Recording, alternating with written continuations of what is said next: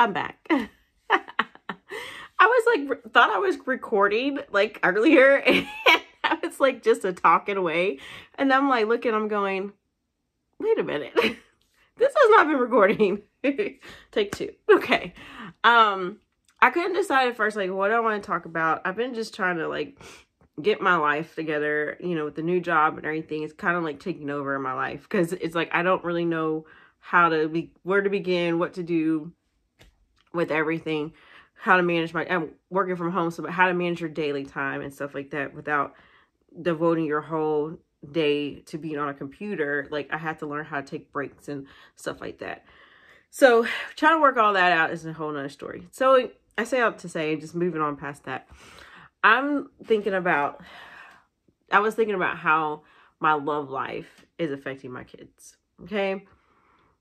And it's like, I'm going to start from the beginning. So with me come to me and their dad, you know, Daria was like three when we divorced. Ella was like one. So they were super little. And so Daria remembers us in both houses that we were in. And, you know, I try to keep, like, I want her to see that me and her dad were married at some point. And they love to look at the pictures of us when we were married.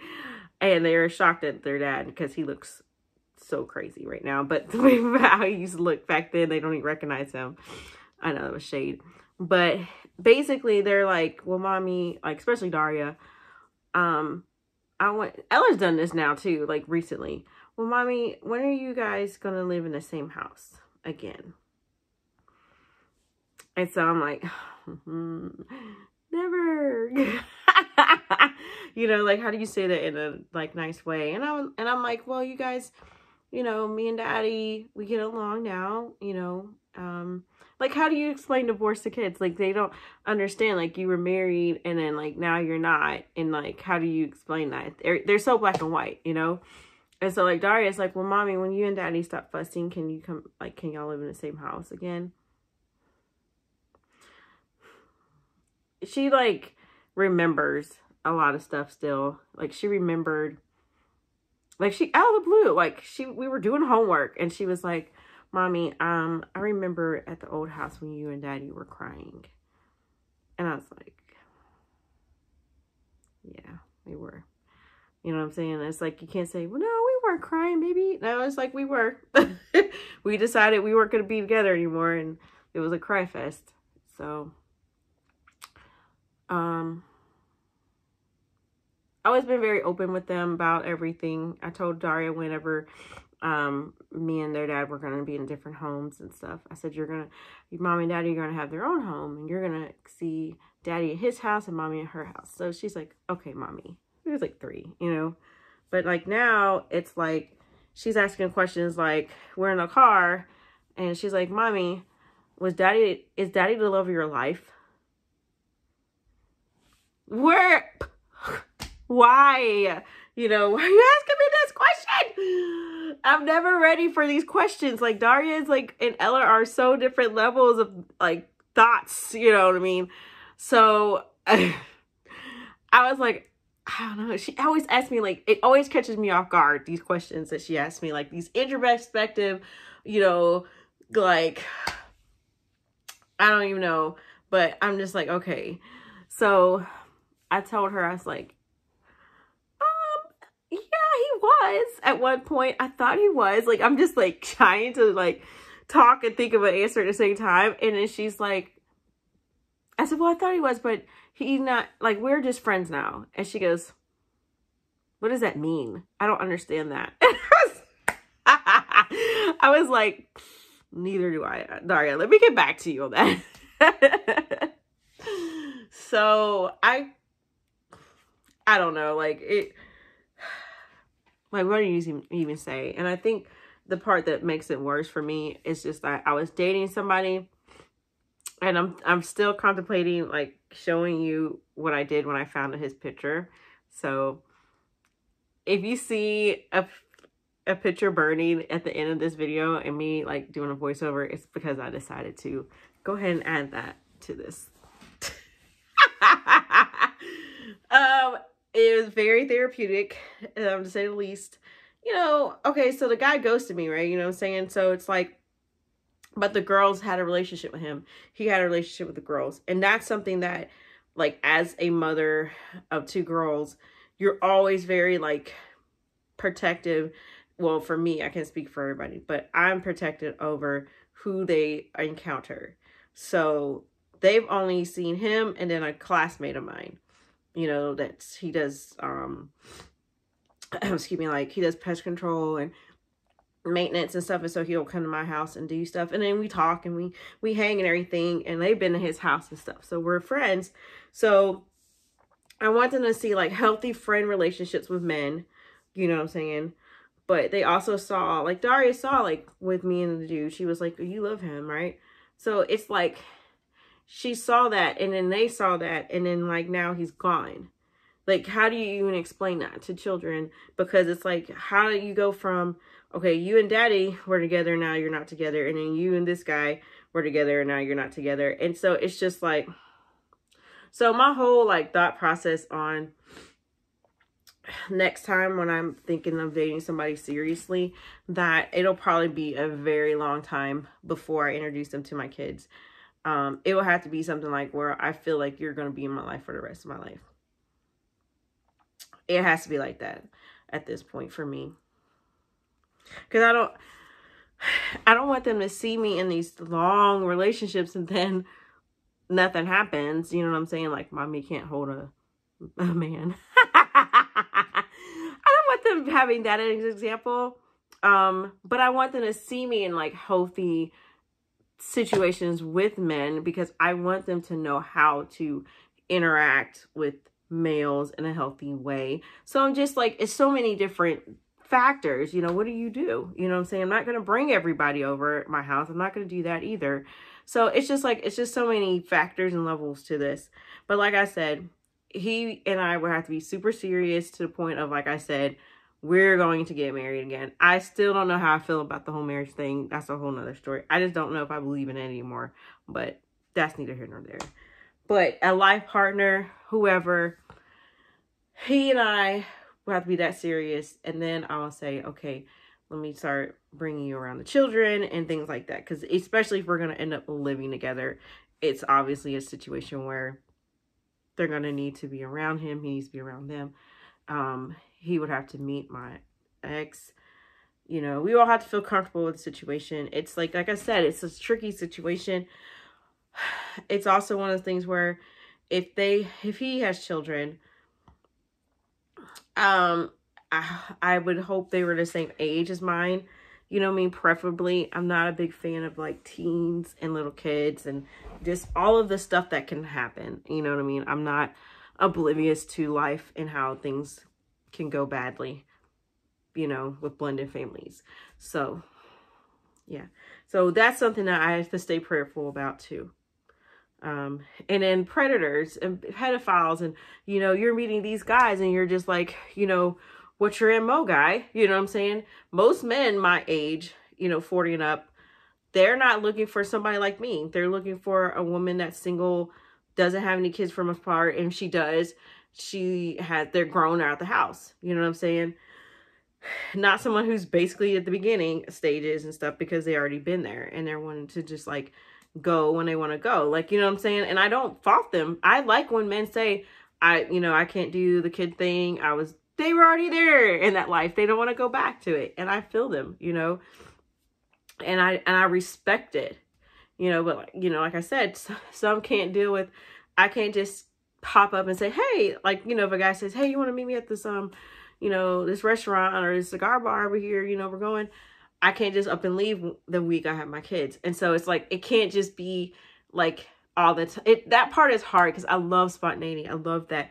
But it's like, guys never be hitting me up when I'm by myself. When I don't have the kids, I swear to you, nobody, absolutely nobody. My girl, you know, Lula, she'll be hitting me up. But dudes, they it's like they know I have the kids, and then all of a sudden, hey, what you doing tonight? Hey, what you doing? But, but I'm like, are you serious? You know. I'm not paying for a sitter. I just can't. You know what I'm saying? It's just like, so yeah, it's, it's like, learn my schedule. I told you, week on, week off, you know, pay attention. but you know, it's like I said, um, and it's yeah. I mean, it's like I said, it's just like there's just different things in your life that you're not able to just do um, when you're a single mom and stuff. And it's like you can't just go places when you have the kids. You you know, so you always got to keep them in mind. Like it's never just about you; it's about them too. Um, and like I said, it's like you got to look at the person that you date. Like, are they going to be good, a good step parent? Will they parent them well? Do you guys have the same beliefs? I mean, the same type of stuff you go into when you're you're dating without kids. You know what I'm saying? All right, you just gotta have the same values. You know, I think that's at the end of the day, that's what it boils down to in any relationship. Do you have the same values? You don't have to always have the same beliefs. I don't believe in that. You know, I mean, you're agree and disagree about everything. Values or something else. You know, that's at the core of here. You know what I mean? Which you really um, value the most. You know, some people is family. Some people is their job. Some people is loyalty. Some it just it just depends. You know what I'm saying? Um, and you know, it's just like what do you value? Some men value a woman that can cook and clean. Some men don't care about all of that. You know, they care about other stuff. You know what I mean? Um, it's just are they, you know, for me, the guy has to be good with money. You know what I mean? I don't want him borrowing money from me. I just can't deal I can't go that route no more. I am not going back to building a guy up again. I'm not doing it. If they're not already built, I can't help you. I'm trying to build myself. You know what I'm saying? I can't do it no more. Not not for a grown ass man. Mm-mm. You know, when we're in our 20s and maybe even our 30s, I'm down. But now that I've hit 40, I'm just feeling like if you're a man and you're around my age or older, you should be pretty established. I don't care what your career is. I don't care what your job is. You can be a freaking, you know, you can be a garbage man or whatever. Heck, they make good money. So, you know what I mean? Whatever it is, you got nine to five, good. You have your own house and you have, or, or apartment, I don't care. Your own place, your own vehicle, and you're not attached to anybody. you don't have an ex-wife that's hanging around. You don't have an ex um girlfriend that's hanging around, a baby mama that's hanging around. Like you have to be, for me, a value emotionally available. Have to be. That stuff, whatever you had in the past, has to be gone. Like distant past. Like I'm not thinking about it past. Like I don't even speak to them past. You know what I mean? Like stuff like that because dude from the, the last guy with all of that stuff that I dealt with, and even before like guys in general that I've seen to attract, which I'm trying to like like manifest not, you know, emotionally available available men from now on. Before it was they're in something. They're kind of like they're unhappy, they're not it's a wishy-washy situation and I just I I have to have more value myself to to for for what I have going on for me to not be down for that. I don't care how much how sweet they are, what the nice things they say to me, you know, because I think my esteem was kind of low and so it was like an attention, you know, people paying attention to you so you'll put up a lot more, you know, but I have to start like letting all that go, like start feeling good about yourself. Like self-love is not just about I love myself. Self self-love is like, you know, I have to love myself um to the point of I don't care if this person thinks I'm cute or not. I have I think I'm cute. You know, I have to look at myself and say, I look great. You know what I mean? And if someone doesn't um, respond to my text or they're not hitting me up all the time, it's okay. It's just not my season. You know what I mean? It's like I'm I gotta learn to not take things like personal. You know, um, the ghosting thing really threw me for a loop because it really had me wondering like what was wrong with me. Why wouldn't they want to stay? Like you got to start thinking of it as it's not about you, it's them they have something missing and going on in their life that's just jacked. You know what I'm saying? So don't put it on that, like on you. whatever they he has going on, that's on him to make to have for him to make a terrible decision that he made, a cowardly decision that he made, like that's on him. It's not me, but it took a while for me to see that. You know what, Anissa, that wasn't necessarily that wasn't on you. That's on him. There was nothing wrong with you. So I'm bringing it back to my kids.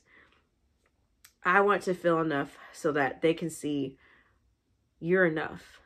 You don't need a man to fulfill your your dreams and your life and everything. I like how those the I like how the Disney movies and some of the stuff is going with women like fulfilling their own like career lives and careers and passions and dreams. I like that. But I also like the love factor. Like I do like the whole maybe there is the love of your life cuz Vivo said that. But it's like it's not always so black and white all the time. I feel like sometimes you might have more than one love of your life. Some people only have one. Some have more. I feel like I'm that the one that has more.